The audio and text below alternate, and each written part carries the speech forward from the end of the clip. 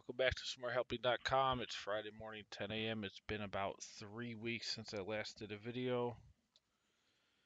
I know it's been a while, but here we go. So, uh, this is in Google Sheets. It's also the same exact model will be available in Excel. So, as soon as you make the purchase um, at smarthelping.com, uh, you will get both the Google Sheet uh, link and the Excel link, and then the Google Sheet link, you can just uh, you'll hit uh, File, make a copy, and then you have your own version to play with. So what this is is a sales hiring plan, as well as an R&D, customer service, and miscellaneous hiring plan. It is for a recurring revenue business, but you could also adapt it to any business uh, where you've got salesmen trying to sell stuff. Um, and basically, what it does is the high level view is you're projecting out your expected revenues through this logic right here, starting monthly revenue and then monthly or annual growth. And then based on that annual growth, you'll get a monthly growth, which the math behind that's kind of tricky, but uh, it, it basically starts with a 100,000 and it grows it per month so that the annual growth is, is 100%. Based on the projected three month revenue, you will then populate your headcounts and cost per month. So, uh, so it's real simple here. We've got projected revenues, and now we want to say for every $350,000 of recurring revenue over the forward three months, how many account executives do you want? How many sales managers do you want? How many customer service reps do you want? Now, we could have done this another way, which we could have put in a number of this and then did a, the amount of uh, sales managers per these and the amount of customer service for these. But that is a little bit limiting because it requires you to have to have all, you know, these top types to get to the bottom types. So I thought an easier way for a user to use this is you can simply, you know, if you're not going to use these, if that, that doesn't apply, you can hit zero, but then you can still have, you know, uh, sales managers and customer service reps, and you can ma uh, manually define how many of those you need per the expected X amount of revenue in the next three months. So this says in the next three months, for every $350,000 in recurring revenue, we need this amount of head count. And you know, it's pretty straightforward. Some of the math, uh, the percentages I'll explain get complicated. But just in general, just looking at this, you could see um, here, you can see sales manager. So this 1.02 means here's your, it's going to look at these three months of projected revenues here divided by how much uh, for revenue your your X is. So this is just going to define how many units you need. Um, and then it just multiplies by how many units you have defined here. So you go, uh, you see this is 357,000. You just, the math is just doing that divided by that. So it's just a little bit over one. And this allows for incremental change. So obviously you wouldn't have uh, 0.02 of a sales manager, but it's just to show that, you know, maybe in this month you want two and, uh, or you know, it's supposed to show even uh, granulation over time. And that's just for, you know, that's good for situations where your growth is not, or your, uh, your revenue is not that big, not big enough to where you would have, you know, 100 here, then 105 or 108, 115. Um, so to deal with smaller numbers, there's incremental change. Uh, if it's bigger numbers you have, uh, or or larger counts of people, you could just not you could just round these no problem. So all you're trying to do here is is populate your hire or figure out your hiring needs based on your projected revenues. And you're trying to plan for when you increase your revenues, you want to change or adjust, you know, your headcounts of different things. And you're going to adjust the sales team differently than the R&D, and the R&D different than whatever you put down here, if anything. And then you also have different types of, you know, R&D employees. You have different types of sales, customer success employees. So this allows you to really just define all this and then figure out you know, add everything up and you come to the bottom, you get a total cost of your team per month, and then what that cost is as a percentage of revenues. Then you've got your total head count uh, and your average cost per person per month. And this probably should be per person per month. So it's a pretty useful tool here um, to use. And it's not going to be used for, this wouldn't be used for like uh, P&L projections. This is only designed to help you with staffing, sta- uh, you know, hire. It's just a hiring plan. That's the main function of this tool. So now the question becomes, well, what does this look like visually? And if you go to summary here, I've done a bunch of charts. Let me zoom out a little bit here. So we've got your sales team uh, headcount per revenue. So this is your, um, you know, how many salespeople do you have, and what is the revenue at each of these different points. And you can see it's in compare mode, and it's got both the types of salespeople. Right now there's zero. Let's put it back in. Let's put uh, say 1.5 annual or 1.5 AEs for every forward $350,000 of revenue. Now let's go to our summary. There we go. So uh, we got sales managers, the count, the count of AEs, and then the bar chart is the projected revenue. Uh, then we've got monthly cost per hire type.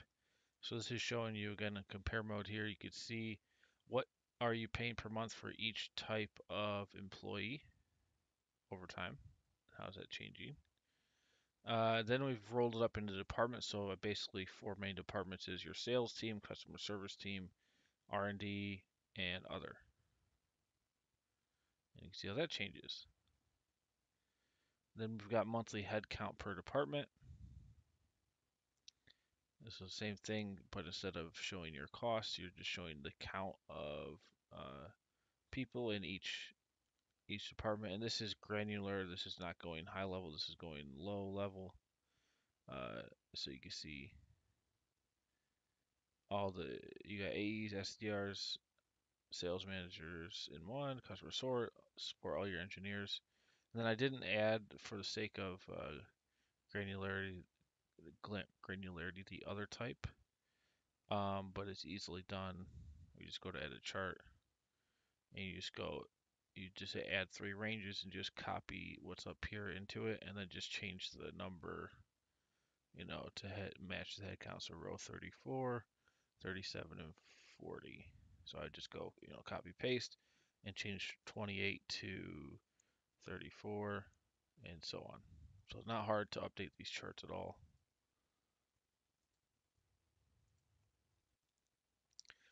Uh, what else? Oh, here's here's probably I don't know why I put this at the bottom, but this is probably one of the most important ones is your monthly revenue versus your total monthly team costs.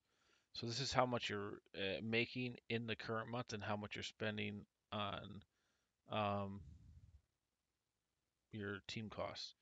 Now, why this is important, you can see how it's expanding, is because you're going on three month forward revenue on what you're basing your costing needs for, but you're looking at your revenue for that current month, which is obviously before your revenue starts to go up if if your revenue is going up over time and at different rates. Now this creates a conundrum where you're like, well, look at this percentage. So my sales team is 25% of total revenue in year one. but now it's only 22% of revenue. Now, why is that going down? How is that possible if we're sticking to a fixed change amount uh, or, or account for every forward revenue of 350,000? Well, here's why. Because every year you can see we're adjusting the growth rates. So at 100% annual growth, if we look at our detail, you can see we start at um, 100, well, starting here at 100 and then going up per month to 105. And you can see if the growth is 100%, that means it should be 200,000 by year two. So if we go to our detail, you can see that is uh, month 12 is 200,000. So it's grown 100% over the year and incrementally each month it the formula knows how to grow each month in order to reach that annual rate. And that's some fun math. Um, but here's what happens. Here's why the percentages change. Now we're in year two. You can see year two up here. And now the percent per month is actually slowed. Now what that means is if you're slowing the growth per month every month, that means the percent whatever your your amount of uh, SDRs or whatever whatever your headcount is is actually going to be different on a ratio just as if you're looking at the ratio compared to this month compared to year one. And that's because in year one we're growing faster so this is going to be a greater percentage of this now we're growing slower so that means the revenue in three months is not going to be as high of a percentage as the current month. And that's just the logic of it. it took me about 20 minutes of sitting here thinking about this to figure out why that is. And then I had to mess with the percentages and I finally found it. Now, if you were to say put uh, 0% growth for each year after the first year, you can see now, look at there's no incremental change after the first year. It just goes, doop, there's your incremental per cha- change saying that, you know, now the, the forward revenue is less as a percentage of the current revenue, but then it doesn't change, so then the ratio stays the same. And then let's say we increased it, so let's say we went 10, 20, 30, 40, 100. So we're growing 10% per year, 20% per year, 30%, etc. Now look at, well, now it's actually going up because now the growth is faster relative to your current position. So it's going to be a greater percentage in cost as compared to the current revenue. And then you can see if you click on it here, it shows each one. here's what the charts look like with that adjusted growth going up. So eh, your assumptions will define all of these things. And you can see a nice detailed look at everything down here. Total headcount average cost per month per person uh, total revenues, total team costs. Um, but yeah, that's it. And it's designed to be simple. Once you get the math, it's pretty simple. You know, you're just looking at um, you, you make these adjustments as as you see fit to meet your um, what you expect your recurring revenue to grow at, or you know, and this doesn't have to be recurring. You could just define this as you know, this is my three month expected revenue. It doesn't have to be recurring revenue and you know you could say how many counts of all these types you want per whatever that is um, you can see average cost per person here now this is to help and just because of what I just explained about the forward months having a greater or less than um, basically be greater or less than uh, the the current month based on the percentage changes that's why you know this 280,000 this is just to help you pace what you put this number at. So this is just taking your total costs. So it's just doing, you know, 150 times 1.5, 90 times this, plus 30,000 times this, plus this times this, doing all of these and saying um, your cost for three months at a time at any given time for this is going to be 281,000. So you probably want to make sure that this number is higher than this number. If it's not, you're going to be, like, let's put it 250,000. This means that, you know, we're actually saying we want to spend more money than we're making on these, which if you do, then if that fits your scenario, then fine. But if you see here, now look at these numbers are going to be, uh, this uh, projected revenue is actually below your total team costs. And again, that's why I said this chart is probably one of the most important. I don't know why I put it down here, but uh, that's to give you a better idea of, of planning this out, right? So let's put it back up. Let's say 600,000. Now, the higher this number goes, the more uh, margin you're going to have between revenue less costs. And I don't even think I put a margin in here. No, I didn't. Let's add that. So we'll do total, or uh, let's see, revenue after team costs. Because I'm not really getting formal with the accounting here because this is not for accounting purposes or P&L. It's just, it's mainly to see your the effect of your team, the cost of your team uh, compared to your revenue. So there's our margin. Whatever that margin is not a, a, specific, I wouldn't call it a profit margin. I wouldn't even call it a gross margin. It's just how much money's left after you pay for your team pay for other stuff.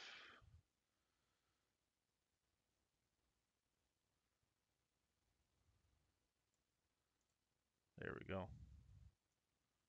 And yeah, we'll probably put that in a chart. Let me pause this video. Okay, we're back here. Yep. So here's that. And you can see obviously as we've we're growing faster um, through one through five, the profit or the margin is expanding.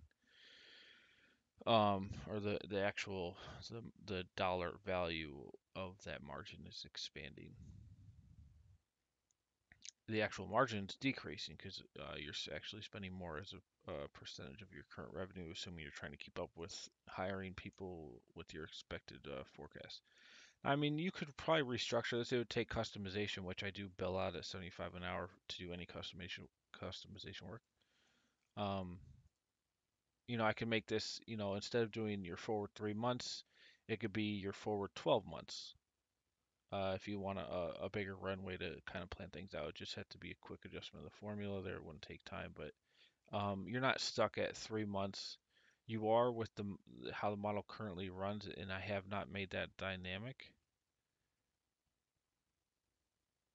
and I'm not going to. But um, standard is three months, and it can be adjusted to whatever amount you want manually by adjusting the formula. Here's where you would pay for my customization services at smarthelping.com under contact hourly services. 1 through 10, I give a little bit of a discount when you get up to, you know, a higher hour rate. And then uh, obviously this model to purchase this um, template, it will be at smarthelping.com and a link in the description box below. Also, if you want to explore more of my models, I have a bunch here, as you can see. Some of my most popular ones are, you know, doing budget uh, versus actual variance analysis. Uh, the fitness center one's popular. This mobile app with recurring revenue is probably the most popular. Uh, equipment rental, inventory. I get a lot of uh, accounts payable, receivable, and so hopefully this SaaS hiring plan is also going to be a popular one because I think a lot of businesses could, you know, use this and and and get some value out of it. All right, that's all I got for you today. Hope uh, people, a lot of people, end up liking this, and uh, I'll see you on the next one. Hopefully, it won't be quite as long as the last break. Um, I try to do one of these videos every two weeks. And again, this is going to be available in Excel as well as Google Sheet. And once you make the purchase, both will be sent to you. It'll be a one-time cost of $45. All right. Have a great day. Enjoy your weekend.